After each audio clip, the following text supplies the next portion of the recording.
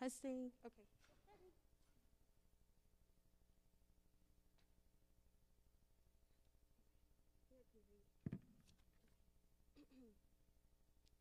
Good evening. My name is Sanaya Carrizales, and I am a senior communications major here at the University of Tennessee at Martin. Tonight, I have the pleasure of introducing our speaker, Mr. Bobby Gonzalez. Bobby Gonzalez is an indigenous Latino lecturer, storyteller, and poet. He is the author of several books, including Taino Zen and The Last Puerto Rican Indian, a collection of dangerous poetry. Bobby has presented at Carnegie Hall, the National Museum of the American Indian, the Detroit Institute of Arts, and many other museums and colleges. He organizes and MCs the annual Bronx Native American Festival. Bobby was selected as the 2018-2019 New York City Indian of the Year. Bobby Gonzalez seeks to empower his audiences by encouraging them to embrace their heritage and use this knowledge to create a dynamic, a dynamic future. As an individual proud of his Native American, Latino, African, and European ancestry, Bobby is a messenger of hope, pride, and love of diversity. Ladies and gentlemen, let's give a warm Skyhawk welcome to Mr. Bobby Gonzalez.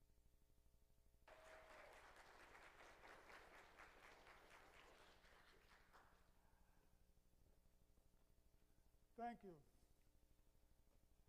So I'm used to, I'm getting used to speaking without a mask on. Good evening. I hope you can understand me with my unusual accent. I'm from the Bronx, okay? And whenever I visit the South, I make a, a very strong effort to speak slowly so you understand me. Before I begin, wherever I travel throughout the country, when I give a presentation, I always start it off by a land acknowledgement. I acknowledge the original people that live on the land where I speak. So, of course, this evening I will acknowledge the Cherokee, uh, the original inhabitants of Tennessee. And as you might know, they had the Trail of Tears and were forced to relocate to Oklahoma, and many of them had to walk through Tennessee. Imagine walking all the way to Oklahoma from here in the middle of winter. So I wish to acknowledge them. I want to thank Mr. Anthony Pruitt and the Student Life and Multicultural Affairs Office for making it possible for me to be here. So, what's the topic? Why Latinos are not Spanish? The cultural diversity of Hispanics. I recently was on a television show in New York City being interviewed for Hispanic Heritage Month. And the gentleman interviewing me wanted on my good side right away. He said, Mr. Gonzalez, I love Spanish food. And I rolled my eyes. I love it when you say, I love Spanish food. I love Spanish music. Some of my best friends are Spanish. Well, actually, we're much more complicated than that. Uh, we're indigenous, we're African, many of us are, have European heritage, and some of us have Asian, Jewish ancestry, and it's all good. So, where do I begin? She is a perfect example. Her name is Karen Olivo. She's an actress, a singer, a dancer, award winning. She's been on Broadway in the productions of In the Heights and West Side Story. Her mother is Dominican and Chinese. Her father is Puerto Rican and Cherokee. A perfect example of that mosaic that I was speaking of. By the way, are there any Latinos here? Ah, are you all from Mexico? What country? Venezuela. Venezuela? That's it? Mexico, Venezuela, I'm from Puerto Rico. So if we had a conversation in Spanish, we might understand each other. We know about that. Okay. I've been asked, Bobby, there are no black people in Mexico, right? I say, yes, there are. Maybe at least a million. And then it now only beginning to be recognized and acknowledged. In fact, some people believe that Africans arrived here in the Americas before Columbus. But as yet they have found no solid evidence, and that's a tragedy that the Spaniards conducted a, a massive book burning of the Aztec books in uh, the late 1500s because the information might have been contained right there in those books. Being a black Blaxican means that you can be affected by the senseless killings of black men on the street and also have relatives on the verge of being deported. Walter Thompson Hernandez. That's a relatively new term, Blaxican, especially out in the West Coast. Some people are now embracing their African heritage, uh, even though they're Latino. Now, this is an interesting group, the Garifuna, or Garifuna. They originated in the Lesser Antilles Islands, islands known as Dominica, St. Vincent, and several others. And the original inhabitants of those islands were Caribs. By the way, the Caribs were not cannibals. That's some misinformation. So you had Caribs. The Spaniards came, occupied the islands, and brought in African slaves. The Africans mixed with the Caribs and formed a whole new group, Garifuna, sometimes known as Black Caribs.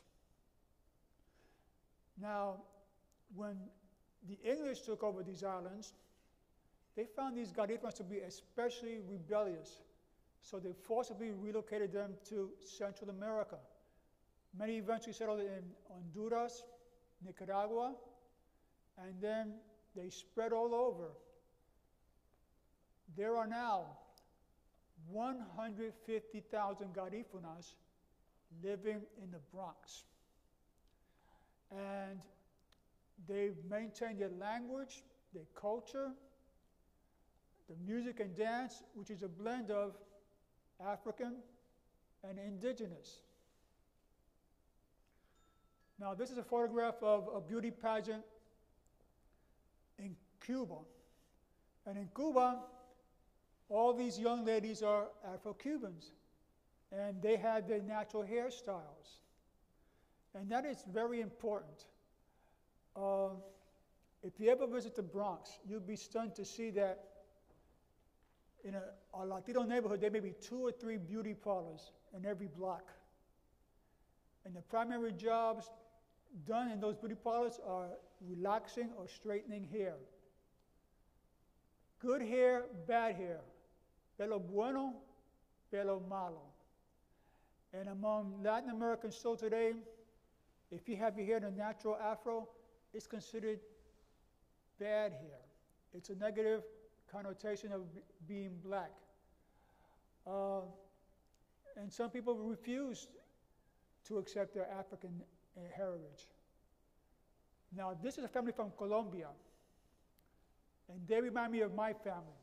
You have everything here indigenous, European, African, very fair skin, light skin. I have cousins who with red hair and freckles. I have cousins who are very dark skinned and have afros. And we're all one family. But this is another family from Colombia. And they are from the people called the Kogi. That is spelled K O G I. And they live mostly in the mountains.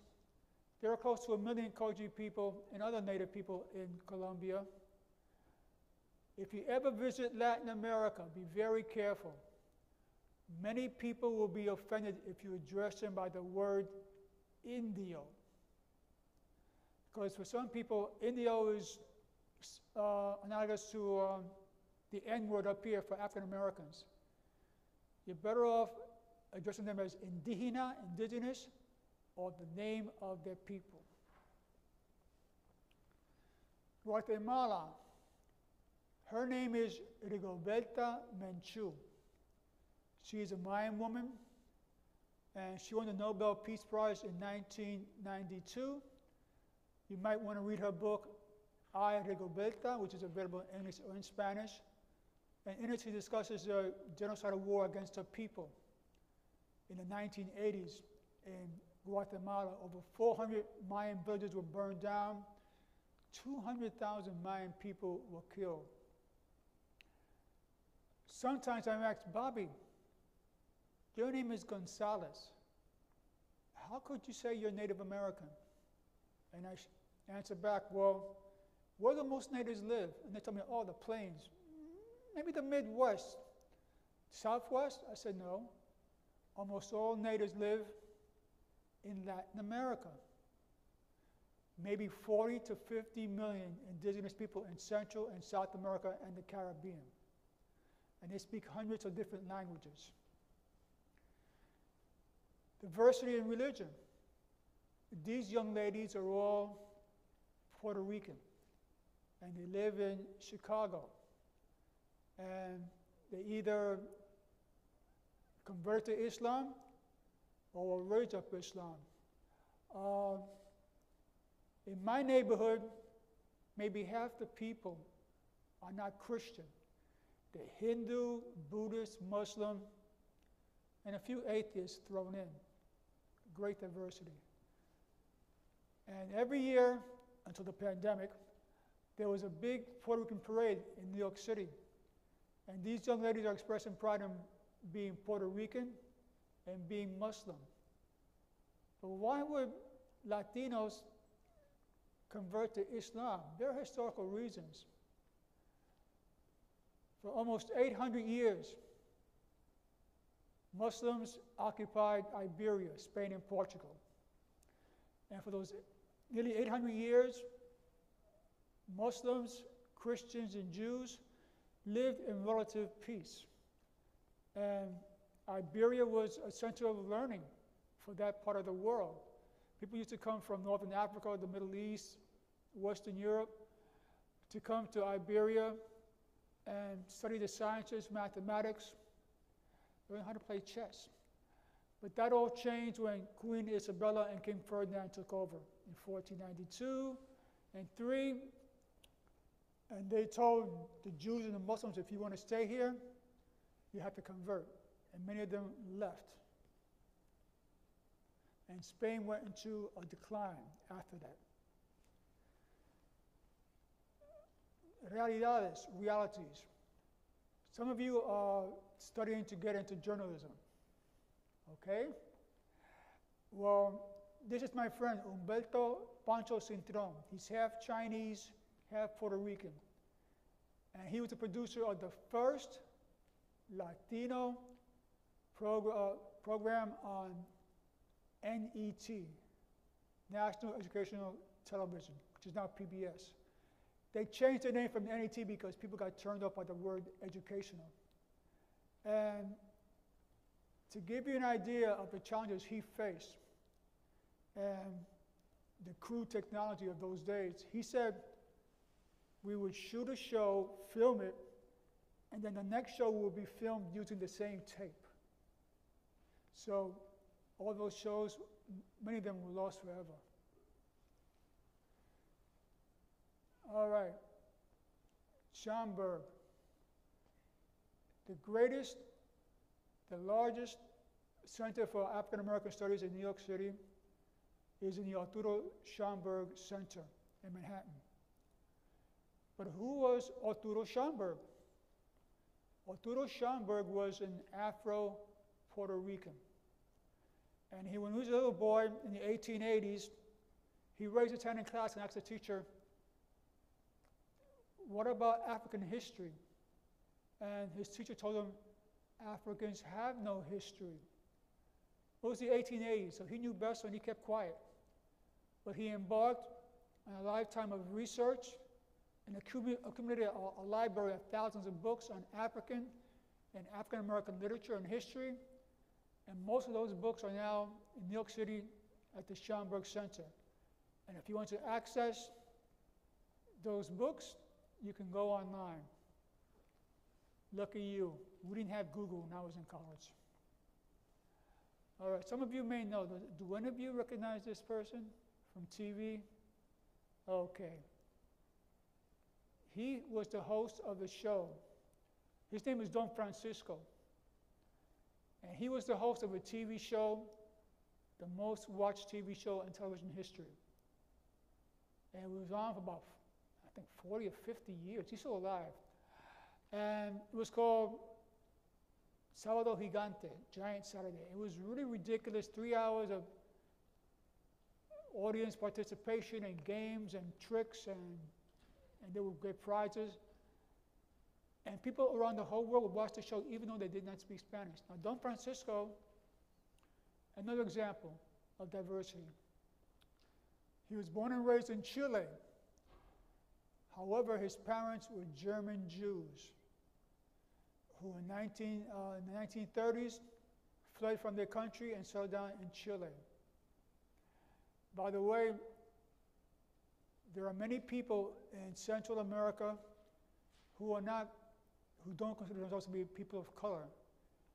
They consider themselves to be white, and they are white. Mongo Santa Maria. Some of you like salsa music, and the foundation of salsa is Afro Cuban rhythms. And Mongo Santa Maria was a master percussionist, composer, arranger, but he had an advantage over many Latinos.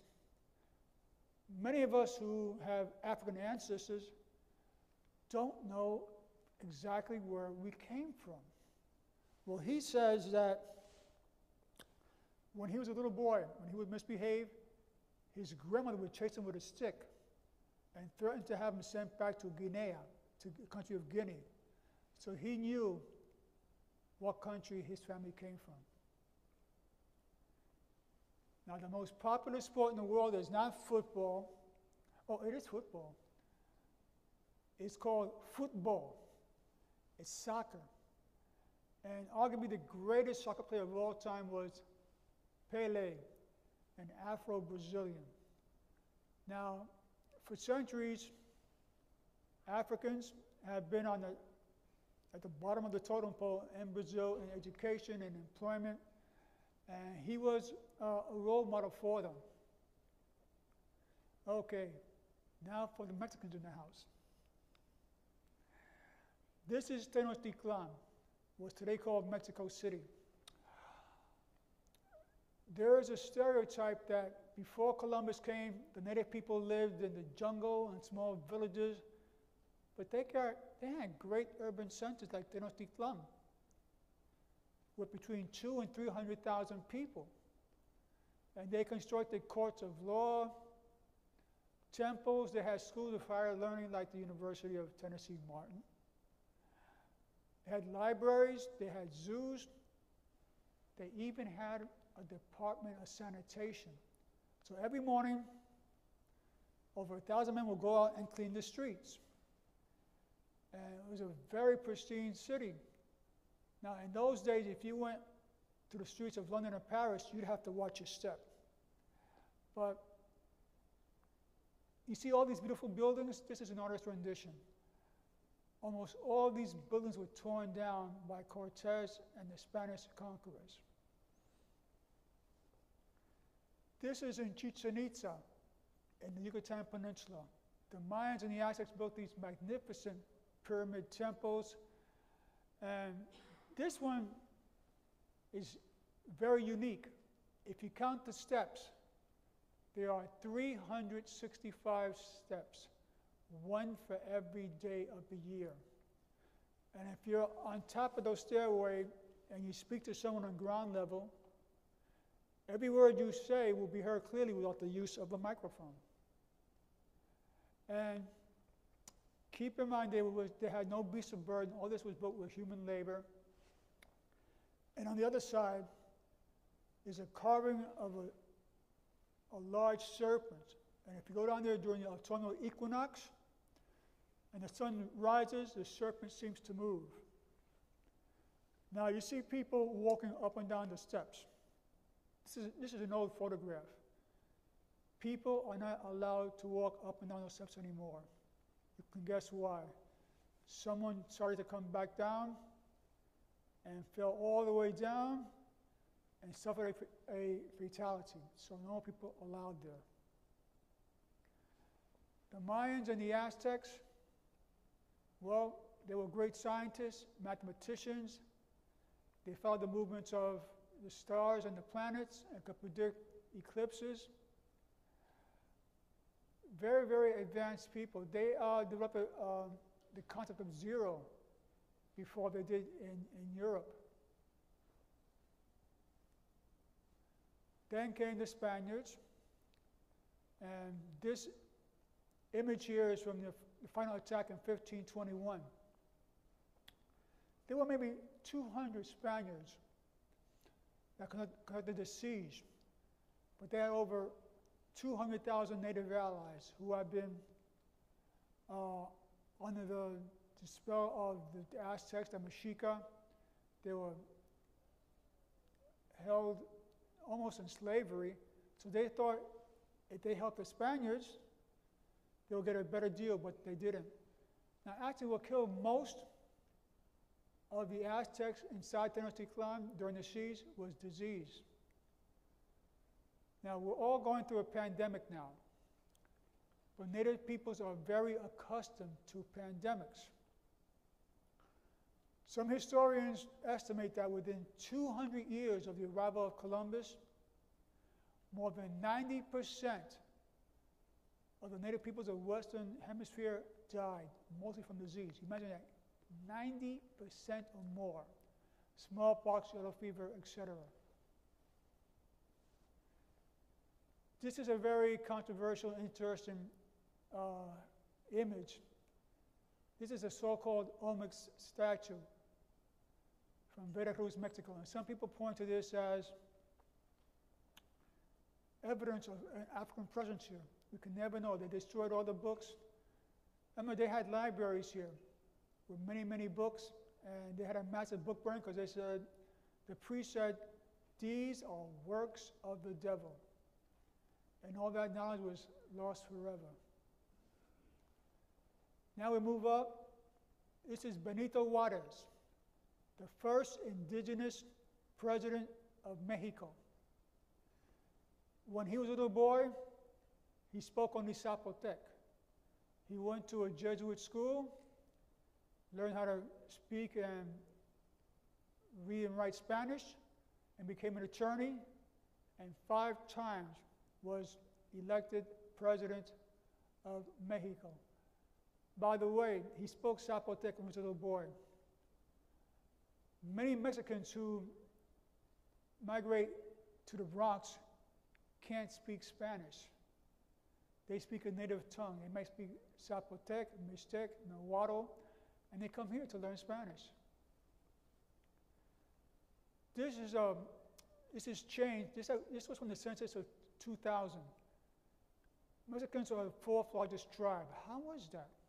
Well, when you fill out the census, if you haven't yet, uh, this, you, you write down, I am Latino.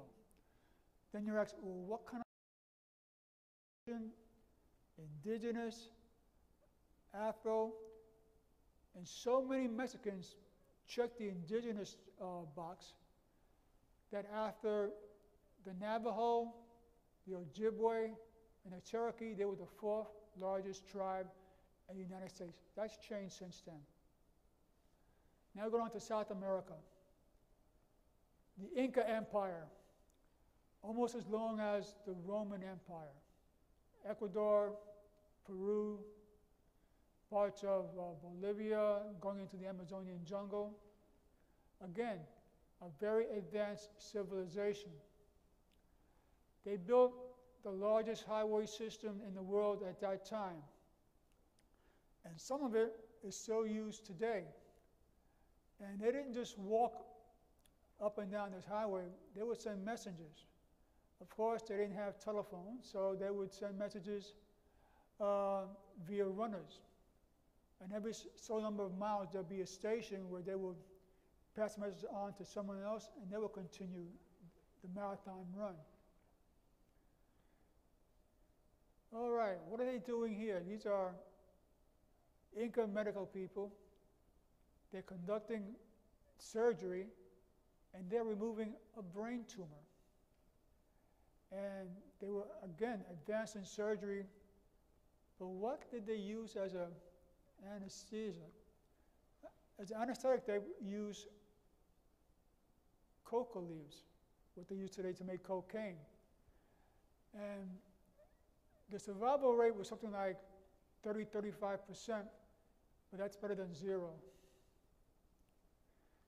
Now, some of you are, are big fans of hip hop rap music. Now, this is a group from Ecuador called Los Nin, L O S N I N. You can find them on YouTube. And they, they rap, but they rap in Quechua, the indigenous language of Ecuador. And this is a phenomenon all over the world. Young people are preserving their language and their history in hip hop music. And myself, I'm, I'm not a big fan of hip hop, but whatever it takes to preserve a language and a history, I'm all for it. Now, my people from the Caribbean are the Taino. We were the ones who discovered Columbus. Well, he has many names Christopher Columbus in English, in Italian, Cristobal Colon, in Spanish, Cristobal Colombo. Native people have many names for Columbus, but I can't be up here all night. All right. The Taino come from Puerto Rico in the lower right, Dominican Republic, Haiti, Jamaica, Cuba, and the Bahamas. Is anyone here from any of those islands? Nope. All right. Puerto Rico we call Borinquen. Haiti is a Taino word. It means high rocky country. Jamaica is Xaymaca, land of wood and water. Cuba is a Taino word, but what it means we don't know. That's been lost with time. And the Bahamas we call Lucayo, island people. So the Spaniards came and they enslaved us. A little known fact is the first slaves in the Americas were not African, they were Taino. And in fact, the Middle Passage, the transporting of people to be sold into slavery began here. 500 of my ancestors were put on a ship in 1495 to be sold into slavery in Spain. And of course, many of us died from disease, overwork, abuse, malnutrition, and that's when they began to bring in Africans in the early 1500s. Now, when the Africans encountered the, my Taino ancestors, it was like a family reunion. We got along very well. We got along so well, they tried to keep us apart, but that didn't work. Now, at the beginning, they brought almost all African men. And some of them ran off and began maroon communities, especially in Jamaica. And of course, they had no African women, so they married indigenous Taino women. And today, in a region in Jamaica called Blue Mountain, you see many people who look different from the other folks. They have reddish brown skin, straight hair, and high cheekbones. Okay. Any business majors here? All right. This is the wealthiest man in Latin America. His name is Carlos Slim. And last I checked this morning, he's worth $78 billion. Not bad. Uh, he's from Mexico, but he wouldn't consider himself to be Latino or Latin American. His family originated in Lebanon. And he married a Lebanese woman and speaks the language.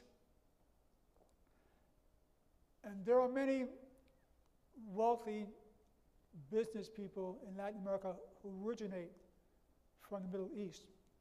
In fact, in El Salvador, there's a very large group of, of wealthy businessmen who come from Palestine. He is Mapuche from the country of Chile. Now, up here in the north, you had these great horse warriors. You had the Comanche, the Cheyenne, the Blackfeet, the Sioux. In South America, you had the Mapuche.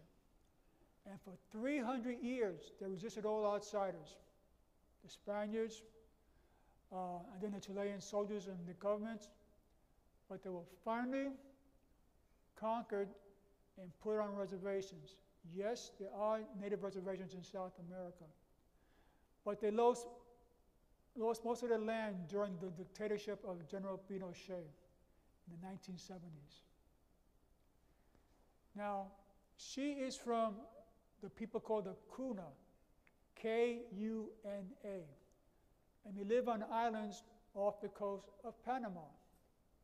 And you see the artworks she has there, those, those weavings they call mola. Now, her people know that the clock is ticking because of global warming. Some people don't believe in global warming, but Native people like her know. The waters are rising up rapidly, and they know in the next generation or two, the islands will disappear, and they'll have to relocate to the mainland. And there, their children will grow up in a dominant culture and lose the language and the arts that she's making there. There's someone here from Venezuela. Okay. You know who this is, right? All right. Hugo Chavez. Uh, the late Hugo Chavez was the president of Venezuela. Very controversial individual. Some people love him, some people hate him. And there's something said on both sides. But one thing that has to be said in the history of Latin America, he was the first elected leader to express pride in both its indigenous and African ancestry. Before him, you would avoid that. But he embraced it every day. Now, this is Rafael Trujillo. He was a dictator of the Dominican Republic for 30 years.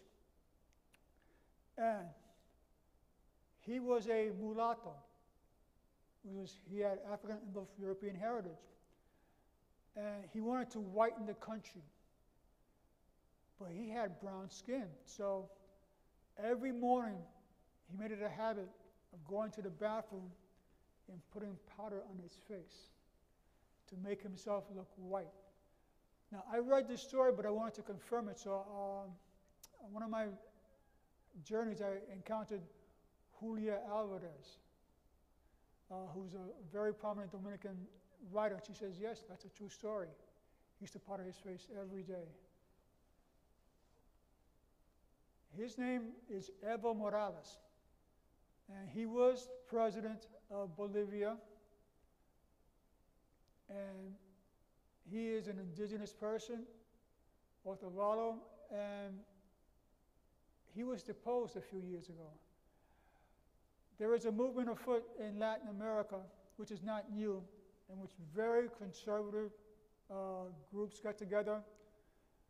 Um, they unite with corporate interests and they overthrow a legitimate government. And that's what happened to Evo Morales. Now, she is Aymara. She's Afro Aymara. In her part of the, uh, where she lived in Bolivia, they brought in African men to work the silver mines. But the silver mines were on very high mountains, and the Africans didn't accustom themselves very well to the, the cold climate. So they were sent down there to work in sugar plantations. And there they encountered Aymara women, and now there are about 30,000 Afro Aymaras in the country of Bolivia. Her name is Berta, or was Berta Cáceres. Her people are called Lenca. That is spelled L E N C A, and they are one of the indigenous peoples of Honduras. And she was killed a few years ago. She was an environmental activist, a human rights activist. And environmental activists have a very short lifespan in Latin America. Gold miners want to come in, uh, loggers, people want to build uh, oil pipelines without any consideration for the land or for the people. And those who advocate for the people and for the land, unfortunately, get killed. I was discussing that earlier uh, about the pipelines that are being built in native country, both in South America and North America. And one negative aspect of uh, these pipelines is all these camps with all these, these workers. We call them men camps. And whenever they erect a men camp to help build uh, these oil pipelines, many women are raped and killed. Argentina. If I'm walking down the street of New York City and I hear someone speaking Spanish with an Italian accent, I say to myself, Argentina. Uh, not everyone comes from Spain. Many Argentinians are of Italian or French ancestry. In fact, when the Argentinian economy collapsed in the 1990s, many Argentinians fled to Italy because of, the laws in Italy saying if you have one Italian parent, you're automatically a citizen. So they said, okay, off we go. Now, my history. Eh, okay. My people came in the late 1940s from Puerto Rico. Puerto Ricans are not immigrants. Puerto Ricans are migrants. They're American citizens. In fact, Puerto Ricans have fought in every war on behalf of the United States, going back to the Revolutionary War. So they came here in the 1940s. My parents came here, didn't know a word of Spanish, no money in their pockets. Oh, they didn't, know, they didn't know English, no money in their pockets. My mother had a sixth grade education. My father went to the second grade and put all three of us through college, the American dream. And then we lived in a housing project. I, I was telling someone earlier, Mr. Pruitt, he grew up in a town with 200 people.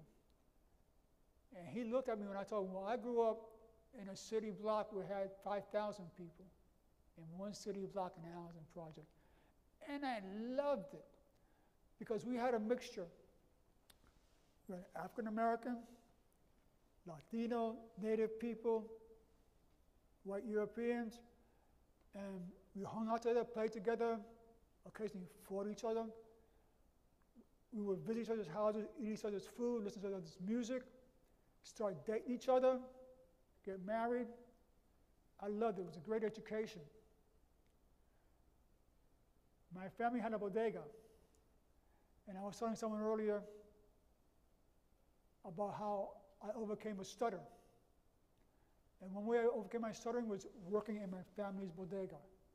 Because once you step behind the counter, you're on stage with the, with the limelight on you. She grew up in a housing project. Sonia Sotomayor, who is now in the United States Supreme Court. Her mother is a doctor, still works in Syracuse, New York, and has practiced there. And like her, I had parents who instilled, instilled in me a pride in who I was and where we came from. And they also instilled in me a great respect of the dignity of the working people. And they taught me respect other people's beliefs and don't try to convert them to yours. So I'm very open, very tolerant. If you disagree with me, I won't get upset. I recently uh, spoke at the University of Mississippi. There was this young man there. He was a white Mississippian. He had different perspectives than I did. I said, That's okay. You and I grew up in different worlds. We have different perspectives, different ways to look at the world, and that's okay as long as we talk, dialogue, and listen to each other with respect. Now, I don't know if you know what a Native American powwow is. That's when Native people get together, put on their regalia, don't say, don't say costume, regalia, the Native clothing, and There's dancing and music and native food. Everyone has a good time. And every year in the Bronx, there are two Native American powwows. And I'm the one who organizes them and MCs them. Now, a couple years ago, there was a great event in my life. I went to a powwow in what's called Queens, New York, and they had an honoring dance for me. That's me in the middle with the blanket around me. They named me the New York City Indian of the Year. Here I am with the blanket. It's called a Pendleton blanket and the plaque. And this was significant because the Thunderbird dancers are all people from the north. They're Mohawk, Hopi, Navajo. And for the first time in 50 years, they named a person from Latin America as Indian of the Year. Oh, by the way, I'm Taino. When you read a, a book or listen to a professor saying, the Tainos were wiped out, tell them, well, I met the Indian of the Year from New York City, and he was Taino. We're still here. Yalitza Aparicio. Another perfect example of an indigenous pride. I believe it was three years ago she was nominated for an Academy Award as Best Supporting Actress. Yalitza Aparicio. And she is a Mixtec woman from Mexico. And there was a great uproar in Mexico. People were saying, how could they nominate una India, an Indian woman? They still have that problem, especially in Latin American media. If you watch any show on TV from Latin America, everyone is lily white. All right? Uh, and they've been trying to make changes, but it's very hard. Uh, the racism is, is built into the system. But with help from people like you, that will change, right? Okay, that's the end of the slideshow portion.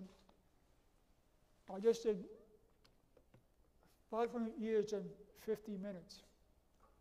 I told you I was very, very lucky. My mother and my father every day would tell us stories about our grandparents, our great grandparents, those who came from Spain, those who were indigenous to the island, those who came from Africa. And it came out in their spiritual practices, practices as well. In the Caribbean and in Latin America, people practice a form of, you might call it religion, but spiritual practices in which they have ceremonies that combine elements of Christianity and African. Sometimes they call it Santeria or Espiritismo, spirituality. And they see no problem with that. They may go to church on Sunday and on Saturday night go out and meet at this old woman's house who is also a curandera, a healer. So I've been talking a long, long time. At this point, I want to open the floor to the best part of the program, the Q&A. Who wants to be number one? Who wants to break the ice and ask a question?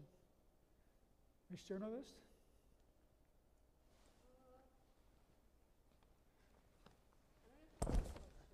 So you don't have a question? Not yet. Not yet? Now you're from Latin America. Does it upset you when you watch TV? No. In Latin America on TV, they have what's called novelas, soap operas, which are very, very popular. But you never see a woman of color. Oh, you see a woman of color, she might be la otra, the mistress. She might be a, a curandera, a so called witch. But you will never see a, woman, a person of color as a love interest. And that's part of the built in racism, which some people don't want to acknowledge. Who else here is from? We have Venezuela here, Mexico. What country? Venezuela. Venezuela. Nobody here? Como? Bolivia. You have quite a, a situation in Bolivia now. They deposed Evo Morales. It looks like they did it illegally. They had this very conservative right wing group that was anti indigenous.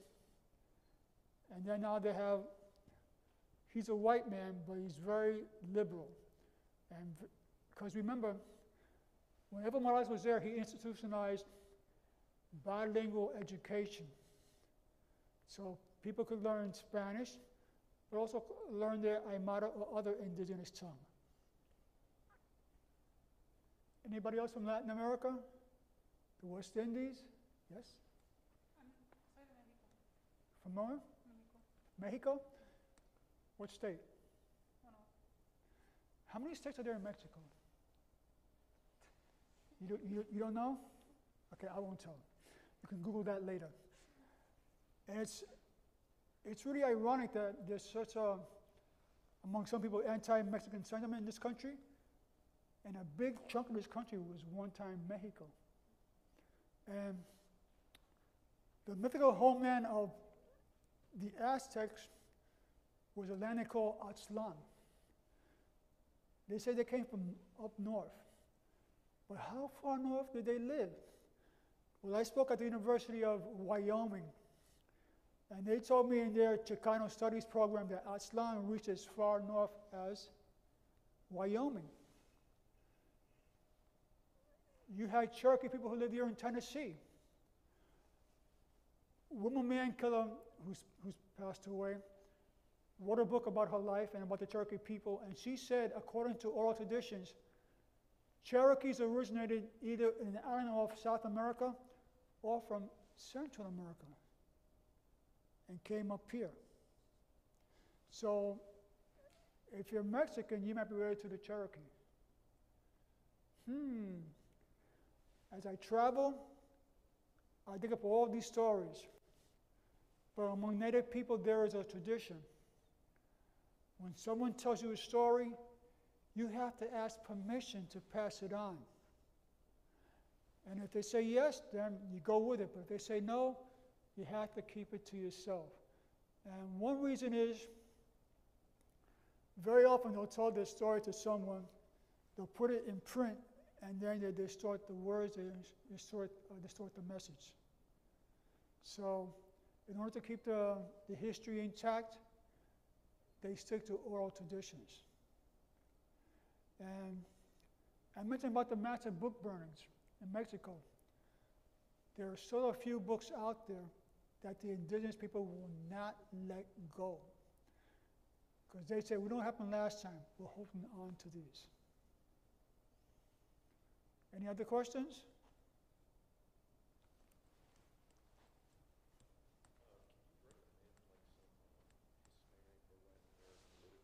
Yeah. Excuse me? Uh, can you recommend like some literature of people of indigenous Latin America? Okay, the best book about the indigenous people of Latin America is called The Open Veins of Latin America. And the author was, uh, yes, Eduardo Galeano. And that's a great book. And it was actually written back in the late 50s, early 60s, but in some ways nothing has changed. That's a great place to start. And people say, if I want to go, in Latin America, what's going on now, what news service do I go to? If you want to know what's going on in Latin America, don't go to Fox News or CNN. You're wasting your time. My favorite news service, believe it or not, is BBC News. So if, if you see a story online from Mexico, it's a Mexican journalist, not somebody from Wisconsin or Chicago. All right? So, and if you read anything online, be very careful. Confirm what you read. Uh, don't get your news from Facebook. Any other questions? Well, if you're shy, I'll be up here for a little while. If you have any questions, you want to ask one on one. Thank you very much.